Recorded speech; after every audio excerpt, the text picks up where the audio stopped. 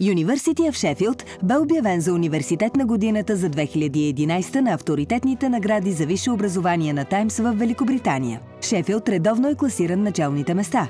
Този път признанието за университет номер едно дойде дни преди другото голямо събитие в академичния календар на Шефилд.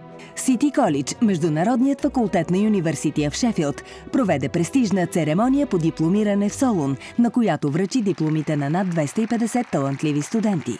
Със специален приз бяха отличени възпитаници на университета с видни професионални постижения в областта си.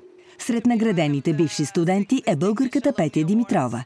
Тя е изпълнителен директор и член на борда на директорите на Пощенска банка и не крие, че обучението в Шефилд има решаваща роля за успешната и бизнес реализация. Сити Колидж, Международният факултет на Юниверсития в Шефилд, предлага вече две години бакалавърски и магистърски програми в София в партньорство с Висшето училище по застраховане и финанси.